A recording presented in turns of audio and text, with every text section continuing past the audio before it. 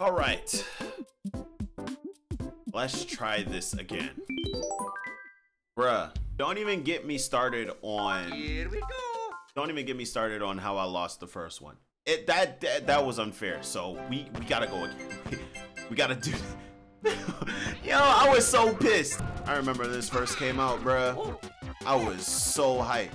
I was begging my dad to get it for me. And then when my dad finally got it, I went home to my mom and they had it already. I feel like that propeller is gonna help us a lot if we make it far. I need to learn the controls, wait, because I'm using Oh, brother. I'm not gonna lie. I'm not gonna lie.